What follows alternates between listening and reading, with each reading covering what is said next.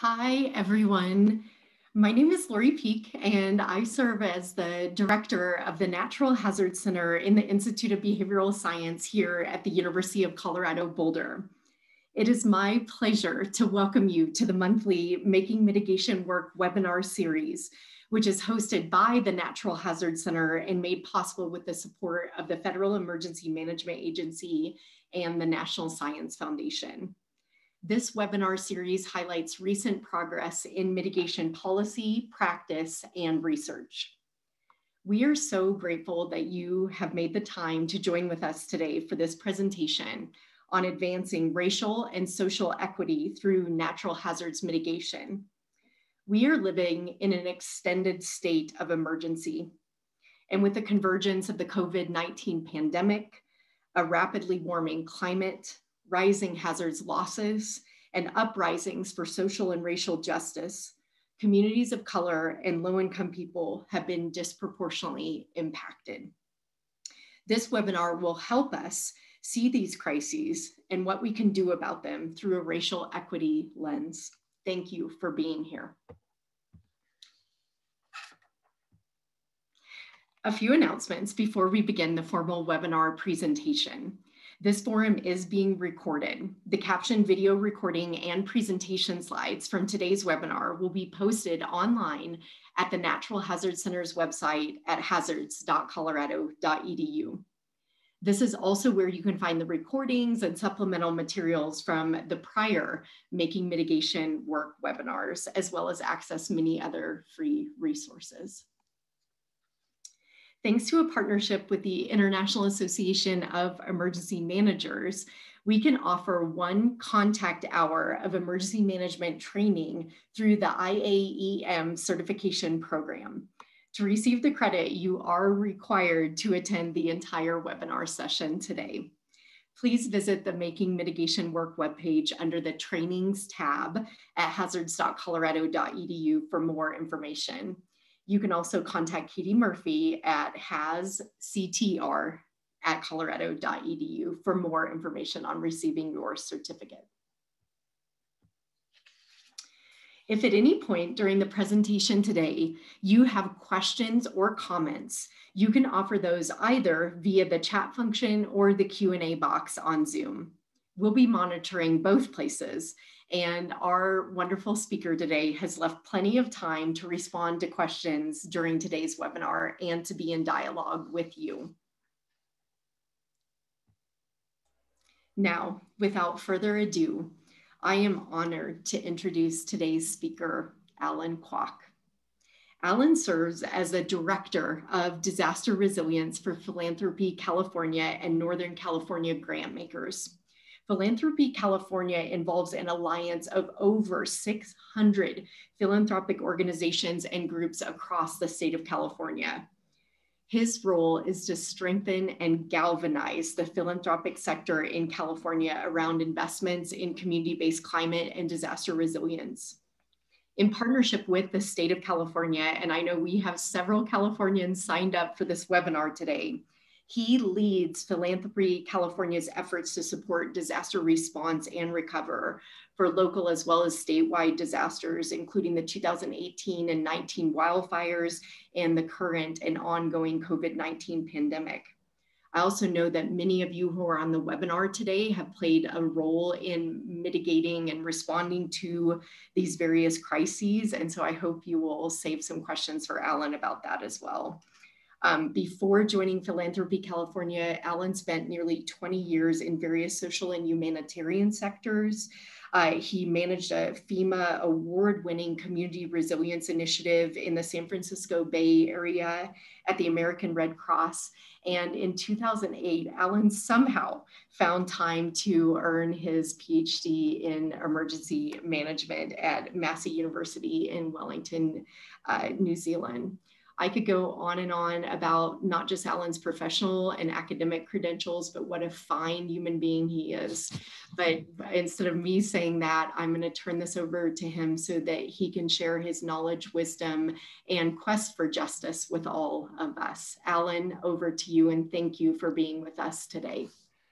Lori and team um, at the Natural Hazard Center um, and Katie in the background, uh, thank you so much for inviting me. Uh, what a pleasure. Um, this is a topic that we are struggling through, through you know, we are still learning. So um, I'm so grateful to all of you who have signed up and joining us this morning or in the afternoon or whatever time zone you're at um, around this topic. Um, I hope to learn as much as you learn from me as I do from you. Um, and um, in the last part of my um, presentation, I will be crowdsourcing some information, uh, hopefully that you can help um, educate me and the work that we do here in the philanthropy. So I am going to um, just really start off with um, the, the what I do. Um, so as Lori said, I work for um, Philanthropy California, um, which is now because of COVID-19, we have increased the number of um, members that we have. We are an alliance of three different nonprofit membership-based associations working to support our philanthropic members um, to make sure that their philanthropic dollars are strategically invested across a whole range of issues, whether that will be education, criminal justice, gender justice, healthcare, or disaster or climate change resilience. We um, out of all of these 700 plus grant making institutions and individuals, they grant out over $9 billion um, annually. And our role as a philanthropic supporting organization is just to ensure that they are the monies that is going out are coordinated and that they are in alignment and in coordination with other sectors. And we also serve as a um, as a, I would say, clearinghouse, or we represent our members to um, advocate for equitable policies on a range of issues, whether that will be social justice, education, or disaster or climate change.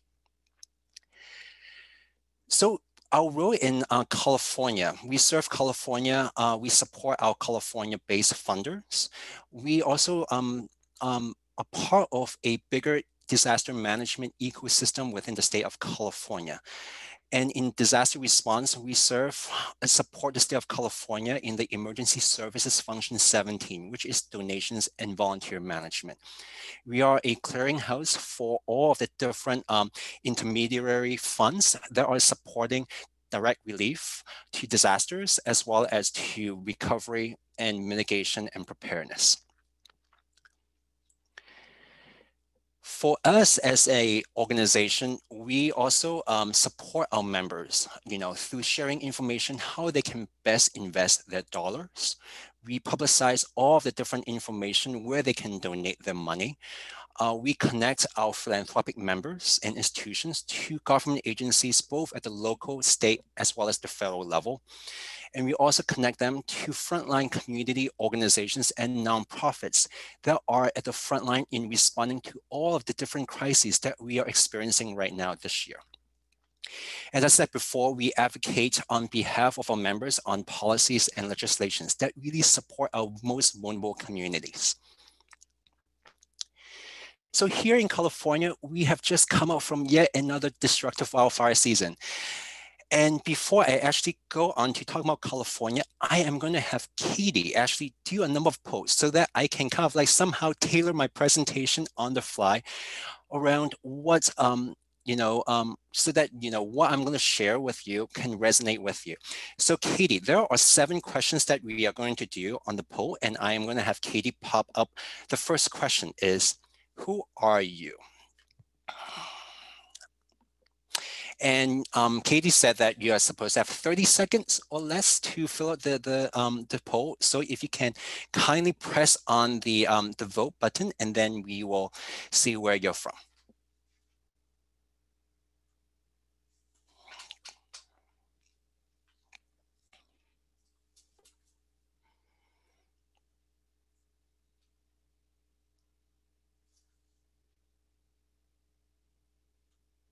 Great we have quite a bit of uh, from academic institutions as well as uh, from the government sector. Thank you. And the next poll, just where just wanted to see where you're um, where you're zooming in or calling in from.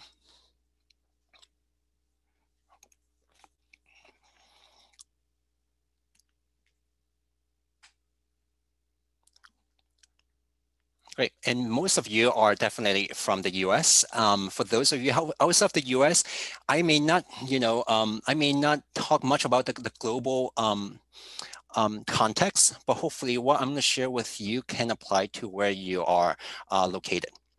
And next, um, next poll. The next poll is really just for me to understand, you know, what kind of natural hazards that you are dealing with uh, whether they'll be in your studies or the work that you do and the um, communities that you're serving.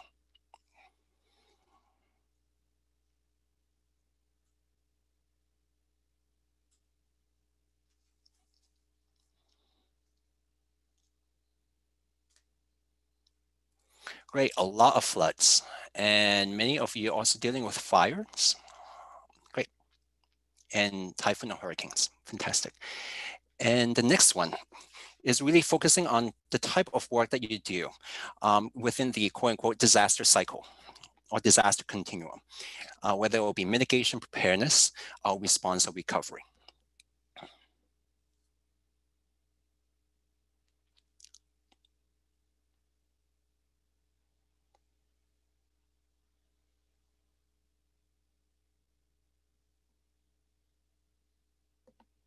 And fantastic.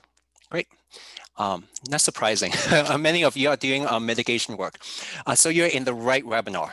Um, and the next um, two questions is really focus on, um, since this uh, conversation is really around um, racial justice and economic just, uh, justice uh, issues, just really thinking about to what extent is the factor race or ethnicity is integrated into the work or studies that you do. Fully integrated, that means is everything that you do, you have to consider race or ethnicity. Mostly integrated, that means most of the time you, you consider race and ethnicity to what you do or study.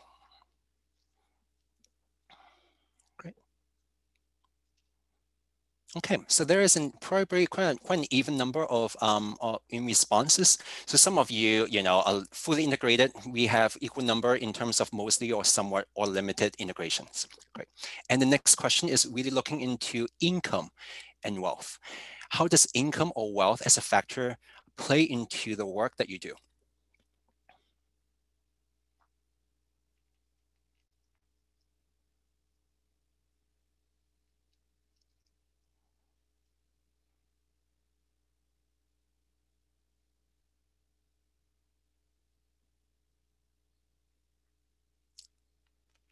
And great.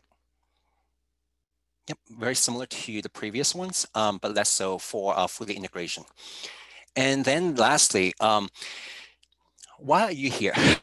um, so why is, um, so for, if you are considering race or ethnicity or income or wealth of people into the work that you do, because are you interested in it or because you are required to do it?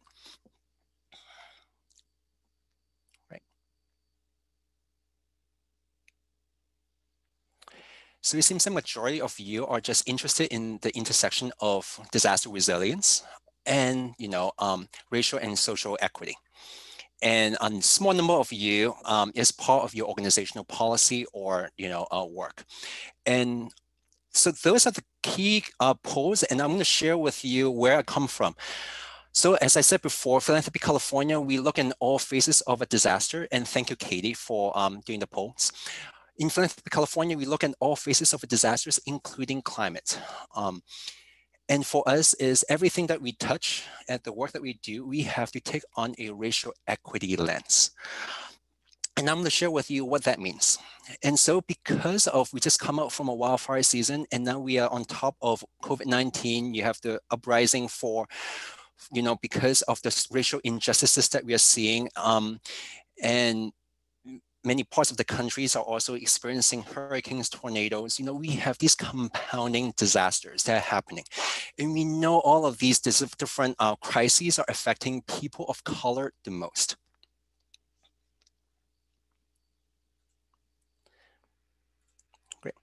So when I talk about, you know, so what we're trying to do right here, you know, hopefully in this conversation and, you know, in, is trying to see how we can strive towards a more racially equitable society. And by that is in which the distribution of resources, access to opportunities, or you know having the societal burdens are not determined or predictable by race.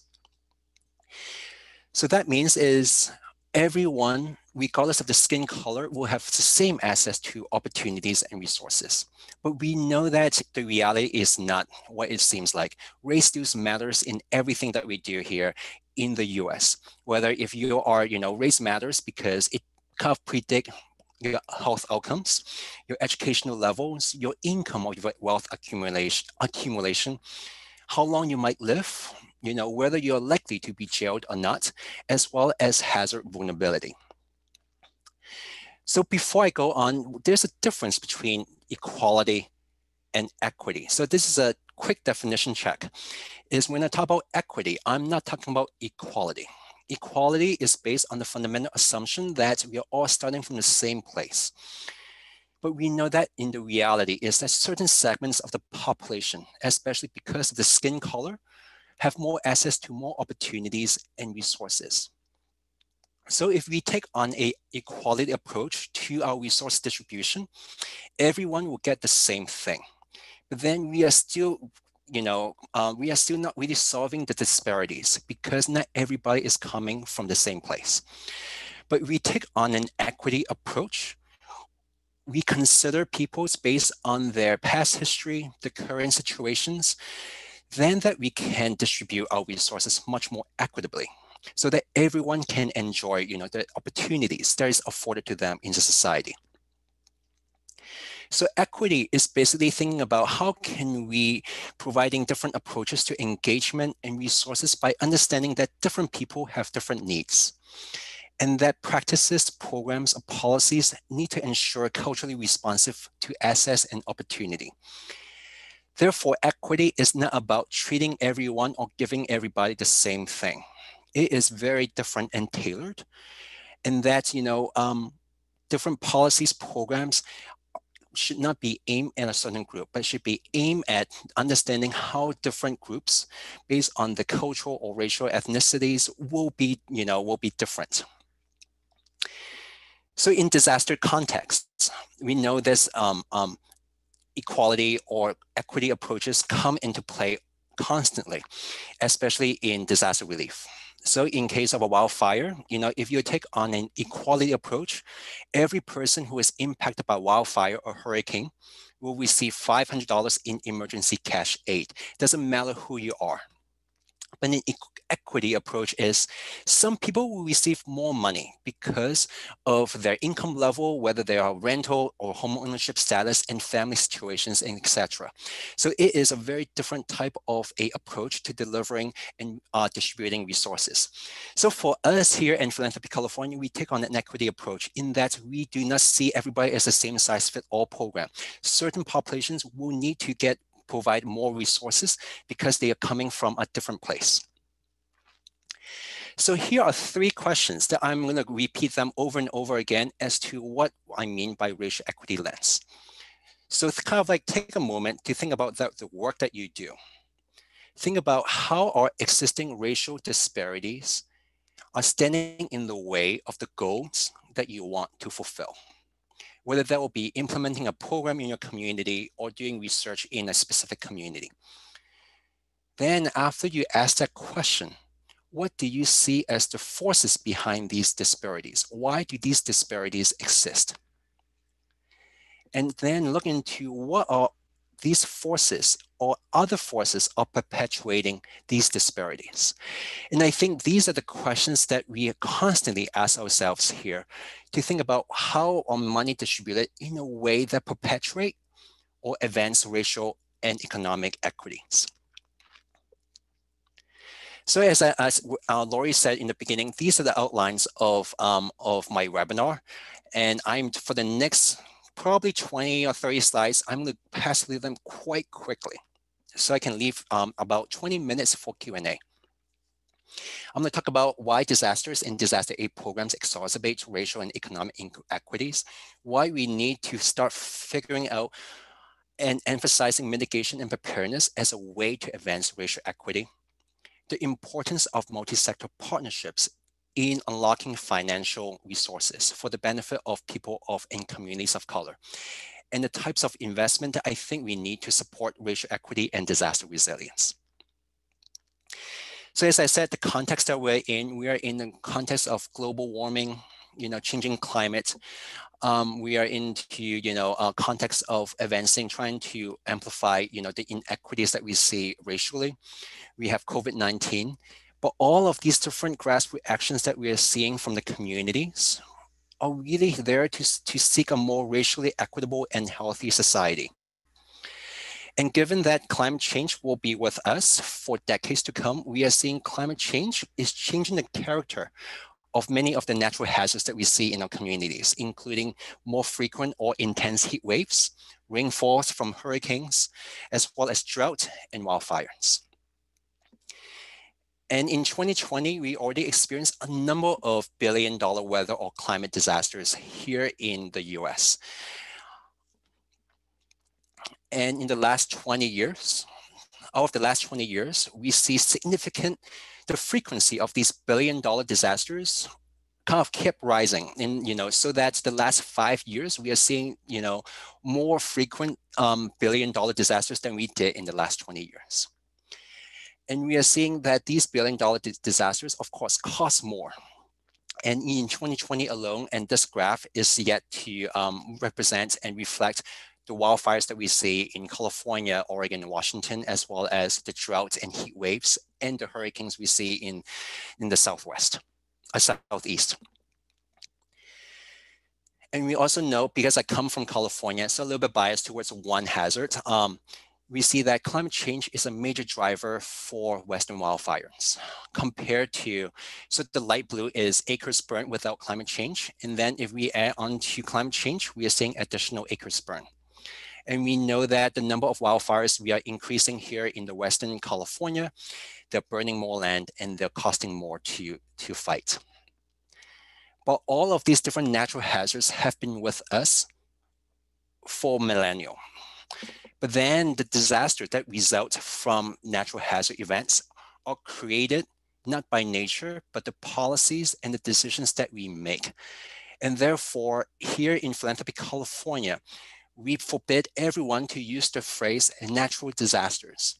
Because if we use the phrase natural disasters, we fail to consider the power, the oppression, inequity, and injustice embedded in all of the decisions that are being made that have put vulnerable people, especially Black and Brown communities, into harm's way.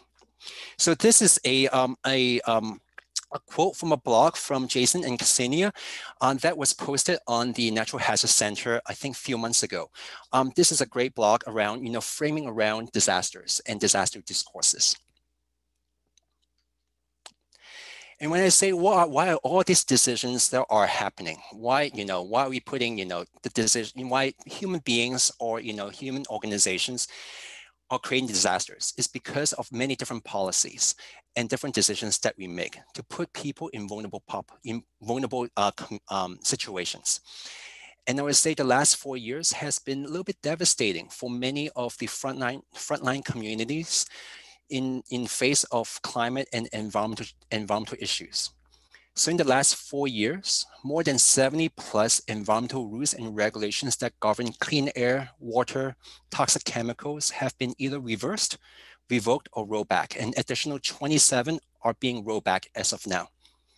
And they, you know, they relate to carbon emissions from power plants or vehicles, to the removal of protections of wetlands, uh, limits on you know mercury emissions and etc. And all of these have impacts not only on the ecological health of our planet, but they actually impact disproportionately on those who are black and brown communities. And black and brown communities, as I said, they are more exposed to hazard vulnerability, including air pollution. And this is a graph from um, our state, um, state pollution um, website where the red means, you know, communities are much more exposed to air pollution. And the I would say the more intense the color, that means red or orange, so you know you see that they are more likely to be um, um, they have higher percentages of communities of colors and household of colors. And I think I'm going to point to one policy that continues to have a profound impact on um, on Black and brown communities as we are facing both different types of natural hazards, especially climate, those relating to climate. Redlining. Um, if you are not aware, hopefully everybody knows it. If not, redlining is a federal policy that was in place back in the 1930s that ranked neighborhoods as to either good or bad. Um, simply because of bad means, you know, like simply because um, of higher number of African Americans and immigrants living in these neighborhoods. So that, you know, this policy basically kind of decide who can get federally backed mortgage, uh, mortgages and other credits. And so if you live in a bad neighborhood, that means higher number of um, I would say people of color, house of color, you are less likely to get a mortgage or other credits. And that continues to feel, even though redlining has been outlawed back in the 1960s, it has still continued to be felt to this day, 90 years from now. It's still being felt because it fuels the cycle of disinvestment in these communities. So for example, surface temperatures in redline areas are approximately five degrees Fahrenheit warmer than non-redline areas. For many cities around the US, we will see daily temperatures to continue to increase in frequency as climate change are going to make cities hotter in most places in the US. And so you're thinking about who will be most impacted by climate change, by heat waves, especially those living in historically redline communities. And then this is a documentary that this year is the 25th anniversary of the 1995 Chicago heat wave, in which seven over 700 folks um, died as a result of the heat waves, and majority of them are Black and they live in the poorest neighborhoods in the city. Yes, the heat killed them, but then it's also the structural racism, as well as the lack of resources that put them in a vulnerable place those who are, you know, who suffered from the heat and died from the heat, lack air conditioning, they live in places with higher rate of violence so that, you know, instead of going out and relieve, you know, and, and enjoy the cooler air, many people just kept inside because for fear of, you know, violence outside the neighborhoods. And then it also speaks to the inadequate response from local emergency departments. So that is one aspect of you know vulnerability from one hazard. We also see societies put vulnerable populations in higher wildfire risk areas. So with that, so not only do people of color and communities of color are more exposed to and at risk of natural hazards, we are also seeing that they're more impacted by hazard events themselves. In terms of disasters, when a disaster happens, we see that federal aid or you know um, a lot of different aid do you favor those who are white and homeowners and this is a little guide that I got from um, um, FEMA, and it is a fantastic guide. Um, just help, help those who have been impacted by a federally declared disaster to navigate different individual assistance. And then if you are going to look into, you know, like if you are starting from the beginning, beginning, if you have insurance, you will go through this process. And if you don't have insurance, you go through a little bit more complex process. It may sound easy to go through these processes, but there are many different social, socio-cultural factors that um, prevent people from accessing these services or aid. And these include many people may not trust the government, you know, in terms of their information or fear that, you know, they may get, you know, if you are an immigrant, whether you are legal immigrants or illegal immigrants, you may not want to give your information to your government because for fear of, you know, um, getting sent back home um, to their country. And if you're illegal immigrants, if the household, all of them are illegal immigrants, you're kind of locked out from all federal aid. So, and then there's also um, social, social cultural variables like time constraints. Some people just don't have time to go through these processes. It is a complex process to apply for aid, especially if you're renters. You know, you may be holding multiple jobs. So where can you find time to get an appointment to for an interview to get uh, aid? So there's also language, you know, or perceive, whether perceive or real language, you know, um, um, um, barriers that may exist, as well as a whole host of factors. And for the next slides, I'm going to talk about why disasters. You know, the more disasters, the more racial inequity that we see, especially along income and wealth. And I'm going to kind of like cite the work by Junia Howell and James Elliott. If Junia Howell is on this um, call, I apologize to you. I am actually stealing all of your slides from a presentation that you have given us uh, last year. So these slides just basically talk about why disasters, how disasters perpetuate racial wealth gaps here in the US. And I'm gonna start off with education first. Um, based on her study, when all things are held equal except education level, those who are college educated actually gain wealth from a natural hazard event compared to someone with an fifth grade level. If you're a homeowner, on average, you also gain more wealth than if you're a renter, holding everything equal.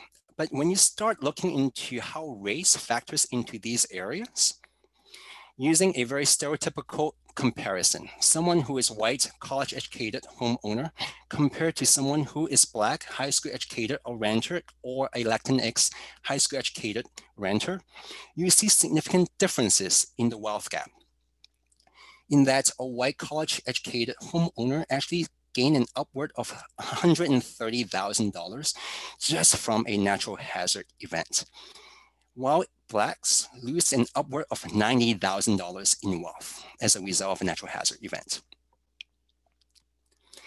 And now back to just about back to you, without the education, without other factors, just because of your race, we see that white folks actually gain wealth compared to Blacks or Latinx. And that with FEMA aid, we know that FEMA aid is there to help, but we know that they are, the FEMA aid currently is, at least set up, is not able to address the disparities that we are seeing.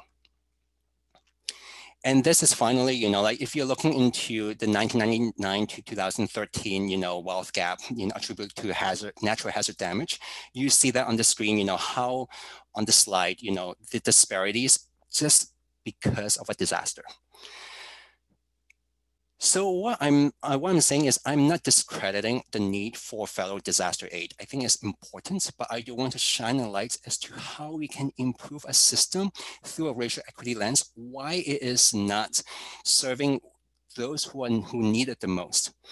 And I think better still is like, how can we prevent disasters from happening? to those who are most vulnerable, especially our Black and Brown communities, so that we are not further perpetuating racial inequities. So this last part is of my presentation is how should we invest? And I think simply put, we need to invest our dollars differently.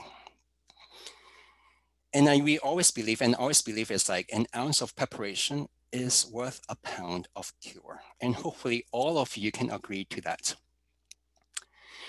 There are two major sources of funding around mitigation. I think the biggest one is, of course, our federal government. Federal government and state government are key in, in supporting mitigation in our most vulnerable communities.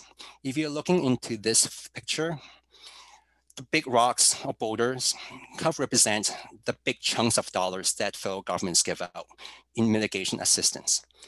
Philanthropy here is really the sand between the rocks compared to the rocks, which is big chunk of money, but it is really hard to move them around. The sand, yes, we have so much more, less money, you know, to play in mitigation assistance, but our dollars is much more malleable and flexible. You can go places where fellow dollars cannot go. So in the next few slides is I'm going to talk about you know, what we know and what the behaviors we are, you know, in where the money is going right now. What we know is we should be doing, but then the reality might be a little bit different. For example, we I know many of you have seen this chart. We know that for every $1 invested in mitigation, we save $6. But we also know that mitigation assistance spending right now, majority of them is being, you know, allocated only after disaster. So that you know the way mitigation spending is structured really encourages mitigation spending following a natural hazard event. So that the more you know disasters that we see the more spending is spent towards mitigation. For me it's just a little bit illogical because why don't we just spend more money on mitigation before a natural hazard event and I would say philanthropy, we are not good as, as well. Um, I'm going to be very critical in my sector as well, is philanthropic dollars, especially when we have these CNN disasters or you know disasters with high media attention, everyone start opening the checkbooks. And for the last few years, over nearly two thirds of funding from philanthropy, that will be individual philanthropy. That means you're, you know, you and me donating to, you know, uh, donating to a disaster or an institutional foundation or a institution or company. Two thirds of the funding addressed only in disaster relief they actually don't do anything to solve any problems. They are just, you know, I would say managing, you know, the problem. They are not changing the conditions, you know, in which people are put into vulnerable positions in the first place. They are not reducing any impacts of, you know, potential natural hazard events. They are just simply managing the problem. So philanthropy, we are at fault as well. And only 5% of current philanthropy dollars go into mitigation and preparedness. And with climate change, we know that in the global scheme of things, about five to nine billion dollars are being spent on climate mitigation. But that is only less than 2% of the global giving in the world. Only 2%. So there's so much we can do to invest in places that we think is important. And this is really around investing in mitigation and preparedness. We can move money more upstream so that we can prevent disasters. And in many senses, you know, if we prevent disasters, we do not perpetuate wealth disparities and racial disparities here in the US. So next is talking about, you know, the need for multi-sector partnerships, how we can do that. And I'll be closing my slides in the next five minutes. One is we need to leverage public-private resources. Government money, there's so much more than philanthropy, but we can do so much good if we can do it together. For example, in California, when there is a risk for wildfires, usually, you know, hundreds of people lose power because our power companies just shut off power preemptively to reduce the risk of wildfires. As a result, many of the low income or local communities in many of the rural places lose power. So the California Public Utilities Commission from the state of California have set aside over $600 million to provide free batteries to low income communities you know, until 2024. But many of these dollars do not get advertised in communities, and many of these communities have no idea how to get the money. And additionally, additionally, for those organizations who is eligible to get the free power, they need to have, they need to put in money to apply for free power. They need to, you know, there's upfront cost to it. As a result, we have a member, Direct Relief, which is a both a, you know, they serve both California nationally and internationally. They put in some money to support education and outreach to their network of health clinics that serve low-income communities. And they pay 5 to 5% application fee upfront so that they can start the process of getting alternative power for their clinics. And so at this moment, uh, 48 health organizations have already signed up to do that. And I think this is a really great model in terms of leveraging philanthropic dollars to get more public dollars. And this is very similar. So we are trying to figure out how can we use this model to get leverage, you know, more public dollars using philanthropy. And we are thinking about with new building resilient infrastructure program and in communities, the BRIC program, there is a cost share element. Generally, there's a 25% cost share, whether that will be cash or in-kind services or materials. For those that are small impoverished communities, there's a 10% cost share. Now we are thinking about how we can use philanthropic dollars to meet that cost share so that we can get more public dollars into our local communities. And there are three ways we are seeing that we can use philanthropic dollars to make our communities much more competitive to get this money. in the BRIC qualitative criteria, these are the criteria to, um, um, to evaluate an application. We see three areas. One is understanding whether a mitigation project impacts a population impacted. Who are the most vulnerable populations that are, you know, that where the project is proposed? Philanthropy can help support local governments in identifying and understanding who is in those communities most impacted by proposed mitigation projects. Two, outreach activities. Philanthropy dollars is really good in convening different stakeholders and creating outreach materials that can provide information to those who are most vulnerable. So there is also a, an avenue for philanthropy to come into play. And lastly is leveraging partners the more partners that we can, you know, that can bring in, whether, you know, um, academic institutions, philanthropic foundations, as well as governments, the stronger the application and the stronger the, the buy-in from the communities. So these are the three areas that we are going to start looking into in 2020 now, as well as in 2021, as to how we can work side by side with our state government to leverage these public dollars to improve uh, resiliency in our communities.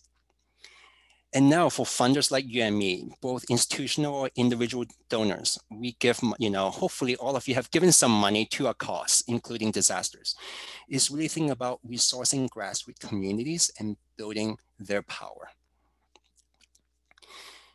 We know that Black and Brown communities are disproportionately impacted by disasters, but we also know that they care about climate change the most. Compared to the white counterparts, they are more alarmed and concerned about global warming than the white counterparts. Similarly, they are also more willing to engage in convincing elected officials to take action to address climate change issues. So here's my kind of my ask. If you are thinking about donating to your whatever cause, is really to support BIPOC-led organizations. That means Black, Indigenous, and people of color organizations. Many of these organizations do not fit into this disaster management ecosystem, but they have always been called upon to support their communities because of disasters. Unfortunately, many of these you know, BIPOC-led organizations do not get the funding that we see in terms of philanthropic, so we call them the philanthropic redlining, is white-led nonprofits have budgets 25, you know, a quarter, um, 25% um, larger than those led by people of color. Nonprofits led by Black women receive so much more less money than the Black men or white women. Unrestricted assets, these are critical for the success of a nonprofit. Leaders of color you know, um, the unrestricted assets of nonprofits with leaders of color are 76% smaller than those led by whites. And those that improves the life of black men and they are led by people of color are 91% smaller than those led by white leaders. So there is a lot of biases even in within the philanthropic sector in giving money to these frontline communities. The other thing is really supporting nonprofits that engage in advocacy. This is not only about advocating for policy, but this is really about organizing communities and supporting research and you know and, and educating legislators what are the key issues that impact them the most and again, I know that there is, uh, Kevin is on this call. I see um, him. So there's a study from Kevin uh, Jr. as well as James um, in disasters. We are looking into how philanthropy at a big scale can help support advocacy organizations. It is organizations that um, advocate on behalf of everybody in the communities. And we see that, you know, in their study, it shows that, you know, for communities with high number of advocacy organizations, there it reduces um, racial um, wealth disparities in disasters compared to communities with low advocacy, um, low number of advocacy organizations. So, you know, basically in this chart, basically, you know, if it is going down, that means it's a good thing. So we, that, we see that communities with high number of advocacy organizations actually fare much better in terms of addressing the racial disparities. And we also see successes in California around, you know, um, advocacy, you know, that address climate change and supporting resource, you know, and helping to redirect resources to disadvantaged communities. Um, we see that in our cap and trade program in California because of advocacy of frontline communities. Now, a quarter of the cap and trade revenue goes directly back into disadvantaged communities. And also because of advocacy, now that since 2019, every county in California needs to integrate cultural competence in their emergency planning. That includes how they communicate emergency um, information, how they evacuate and shelter those with, you know, who are POC. Um, looking into mitigation and prevention planning for, um, for culturally diverse groups. And each county is also required to provide a forum for community engagement, you know, so that they can engage with culturally diverse communities. And I just want to give a shout out to a number of organizations that are currently, you know, working in this front in terms of building community uh, power advocacy, you know, addressing climate change and addressing disaster resilience. And these include the California Environmental Justice Alliance, as well as some of our state programs, including the Listo California, which is a preparedness program focusing on our most vulnerable and low income communities here in California. And then nationally, we have a lines of different frontline organizations working at the intersection of climate justice and social climate change and social justice, including the Climate Justice Alliance, as well as the Indigenous Environmental Network. And we are now setting ourselves up for the 2021 wildfires. How can we continue to educate our funders around social justice and disaster resilience and how can we work with our government partners better.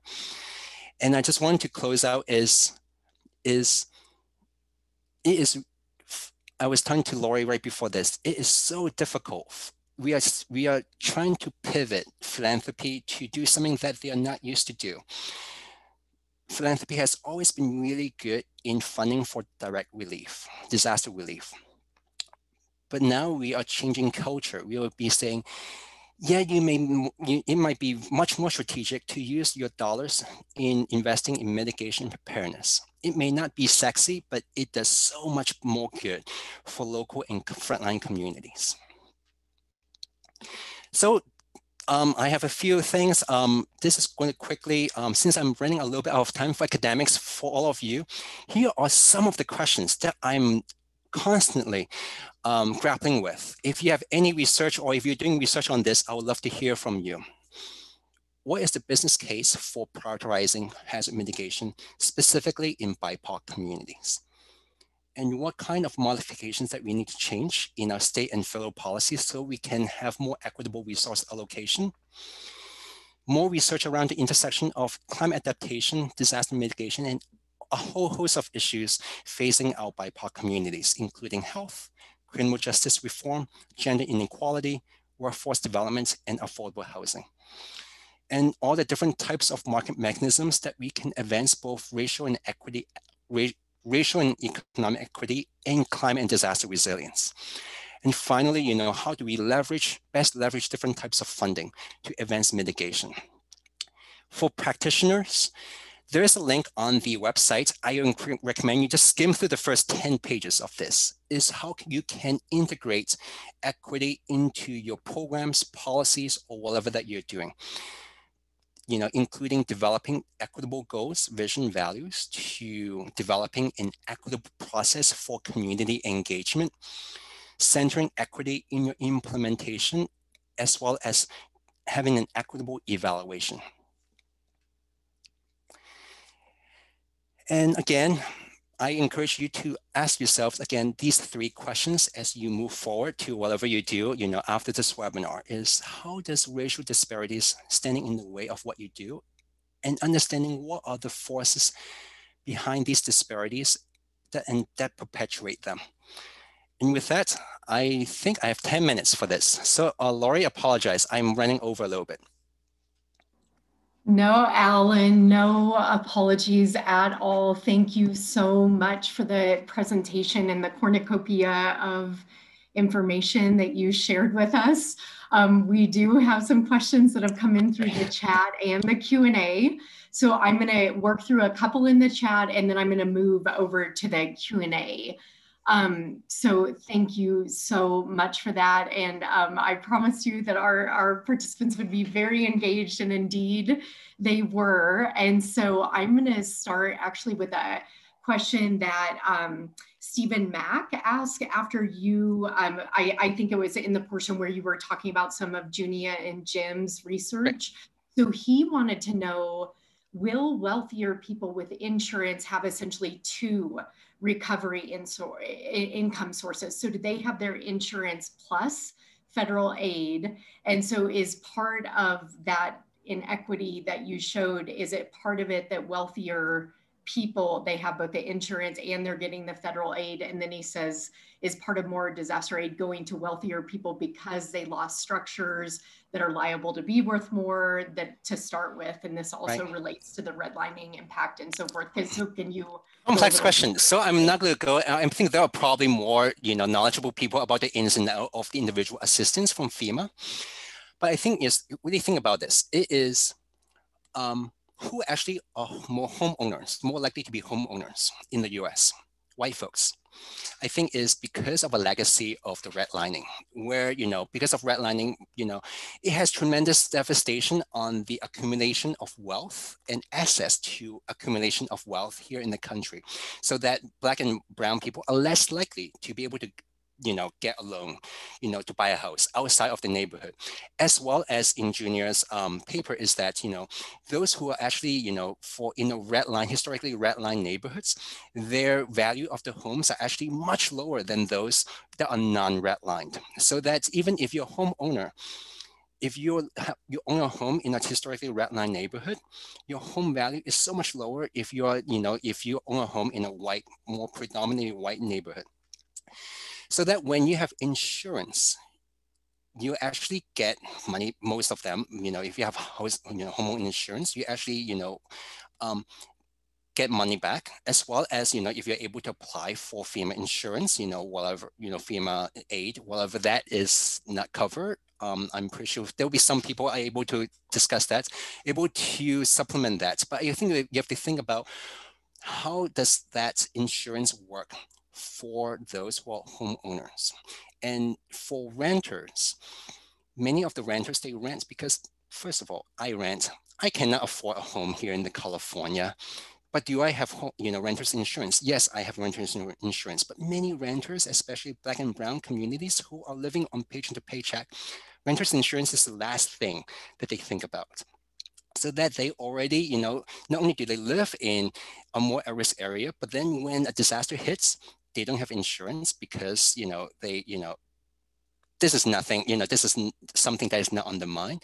And i think it is that way of it's the idea is is things just got perpetuated you know one thing over the other. And then as you're going through a disasters who have access to aid is really important. If you are thinking about put yourself if you are like a single mom having three jobs especially if you're a woman of color, for example, having three jobs. The last thing is if you have disasters. You may probably move to some place. You kind of like, you know, you move your kids somewhere, you know, safer, you know, you may be trying to find a place that, you know, um, rent someplace else, but then, you know, you're living on paycheck to paycheck, you know, do you live in a shelter, do you go to shelter or do you, you know, find someone?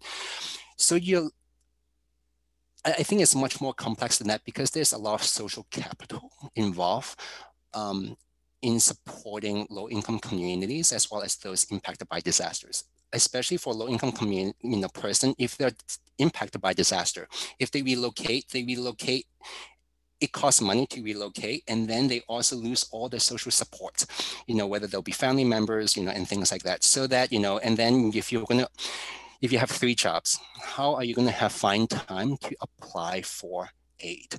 I think that's the key thing is it's so difficult to navigate the aid process. It is especially in a disaster situation. So I think it is a much more complex that I can uh, I can talk more and more about this, but it is um, a lot of barriers you know, um, people of color in disasters face a lot more barriers in accessing aid than those who are homeowners or who are white.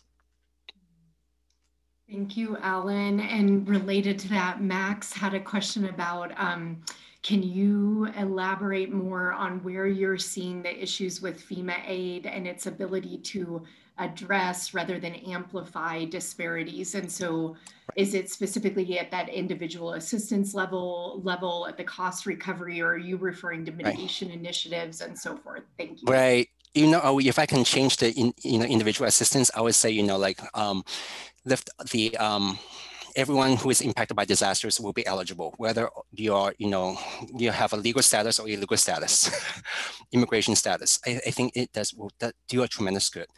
Um, and I think it also looks into, you know, the process of aid, getting aid. Um, you know, sometimes aid, you, there's a lag time. So, you know, where can, how can we speed up the process? And I also know that, you know, for um, the community development block grant, you know, disaster recovery, usually those money going into recovery process as well as mitigation process takes a time, takes probably 18 months from a disasters to, you know, to get in the by the local government to get the funding.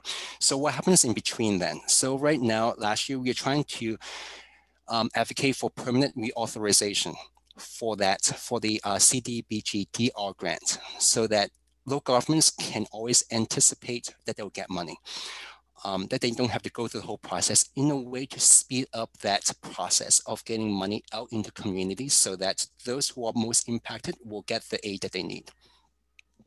Mm, thank you. Um, uh, Sarah Schwartz wanted to know what about Asian, Asian Pacific Islander, Native American, Indigenous communities? Where are the statistics about these other communities of color? Great question. Data. Um, data. Um, I would love to. Um, I would love to have those data as well too. Um, and we are. We know that um, Native Americans, um,